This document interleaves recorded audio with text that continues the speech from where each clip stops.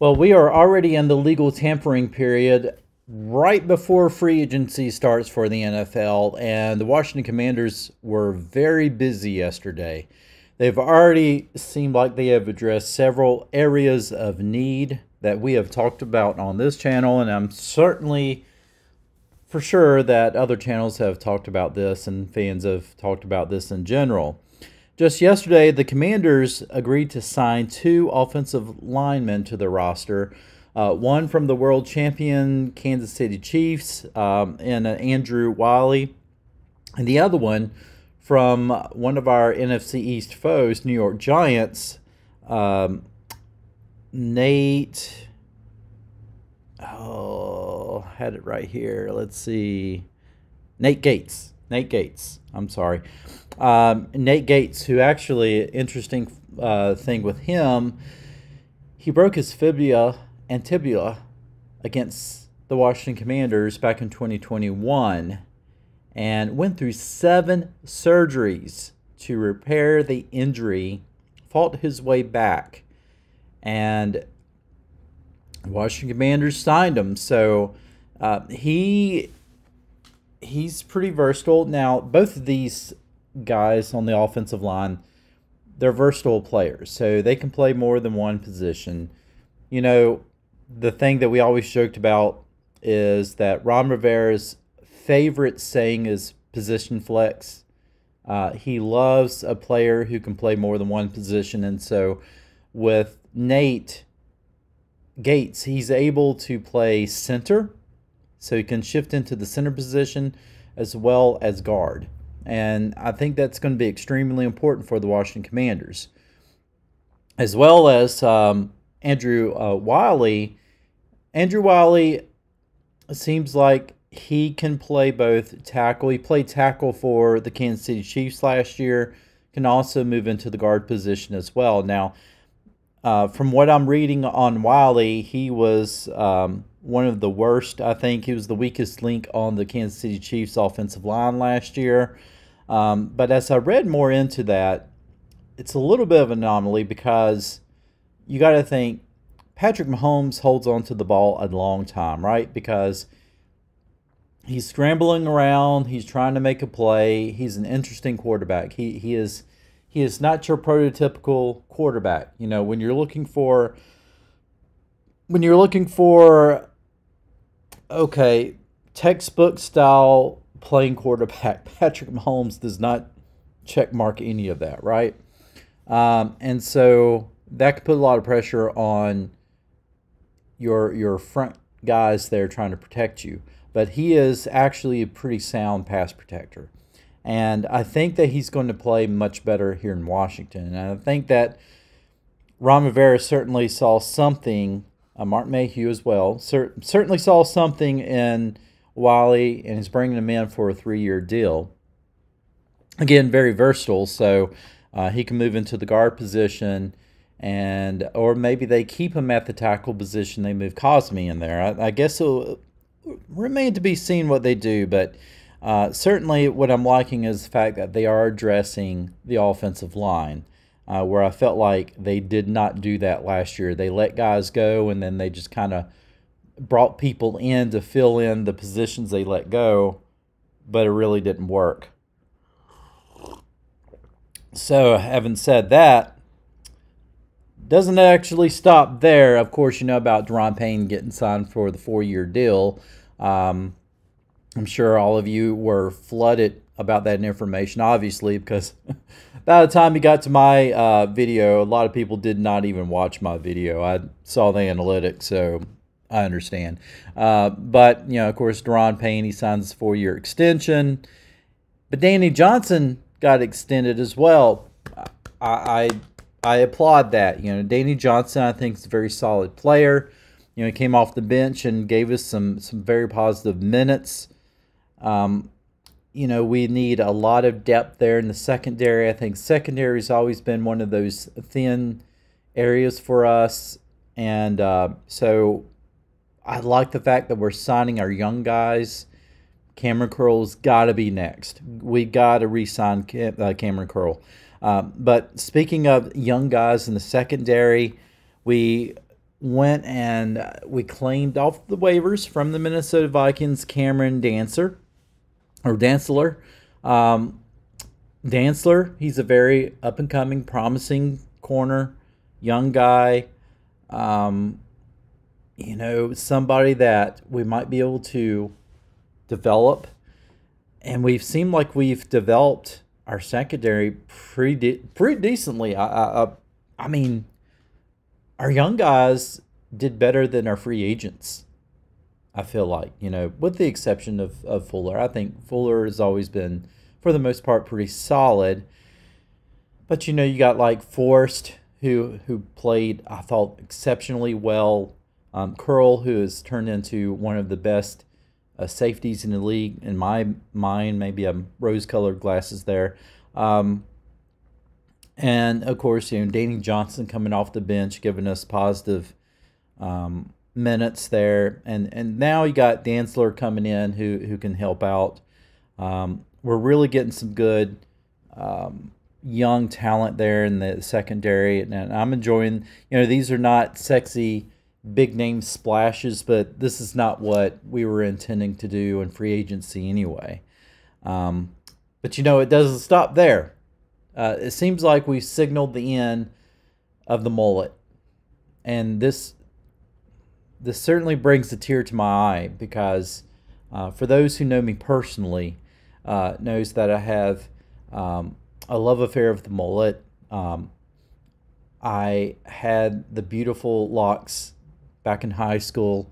Um, you know, I, have always um, loved the mullet. Always wished it would come back. Um, and and my wife has threatened to uh, divorce me if uh, if I ever grew my mullet back. So obviously, I would never have my mullet back. But uh, having said that, Cole Holcomb is likely gone, and because of that, we went out and signed his clone. Uh, his one year clone, one year deal with his clone. Cody Barton, we picked him up from uh, Seattle. Um, I, I call him Cole Holcomb clone because his playing style, his numbers, his his everything, except for the mullet, he he is Cole Holcomb, and uh, so by by saying that, um, I think we're not going to miss a beat. You know, we signed him to one year deals. So it's kind of a one year prove it deal. We're going to see how Barton is able to come in and play for us. I think that this was a good move. Um, obviously, you know, a lot of people keep talking about linebacker. We need that that strong linebacker corps, and you know, Ron Rivera seems content with the linebackers. You know, we re-signed David Mayo.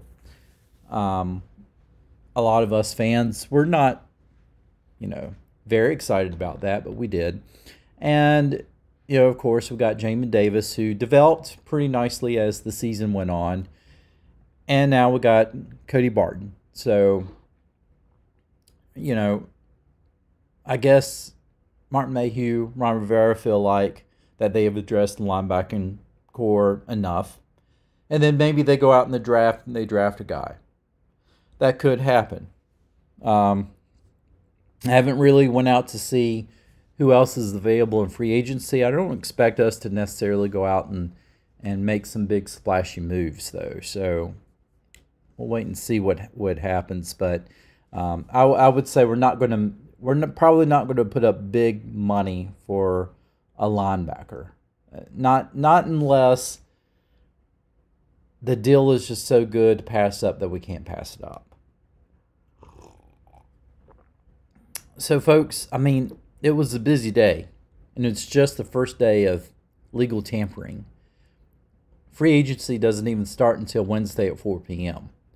But, of course, we're already hearing teams agreeing to to terms with new players and you know existing players and and things like that. So um, I don't expect to really start hearing outrageous news come four o'clock tomorrow. Um, we may hear some other signings, but I think it's going to be low profile signings by the Washington Commanders. The only other name out there that right now it's it's an interesting rumor, but it's a very strong rumor for some reason that the Commanders are tied to, but also the Bears and Lions are tied to this as well. Is there's strong interest in stud running back Austin Ekeler. And I found this to be interesting because why is the Commanders tied to Ekeler?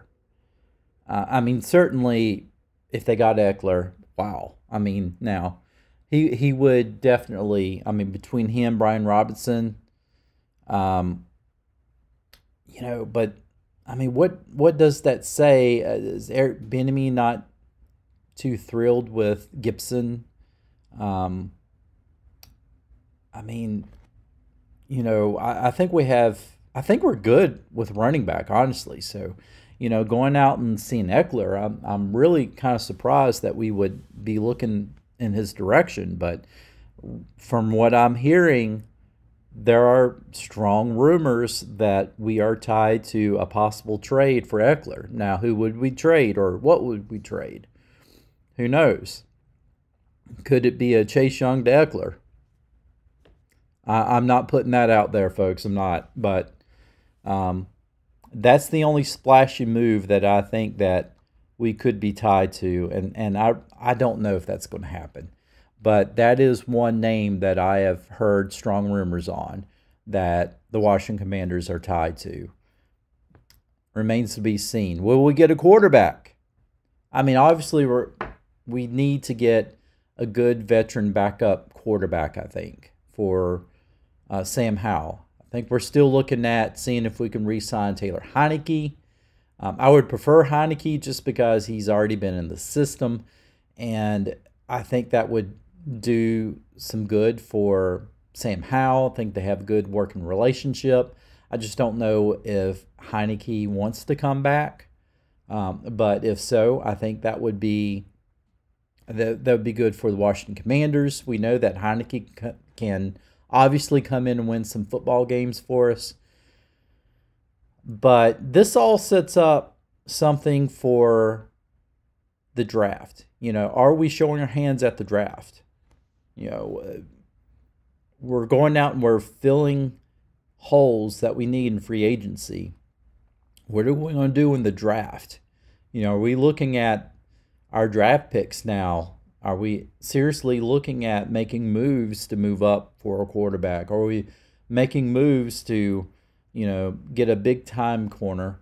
Are we are we still going to look at the offensive line? Are we still going to try to get one stud on that offensive line that would kind of change everything? I mean, you know, sky's the limit at this point, but it's going to be interesting because right now, honestly, I think that we've we've signed a lot of depth for the offensive line, and hopefully we're going to get some um, healthy guys back.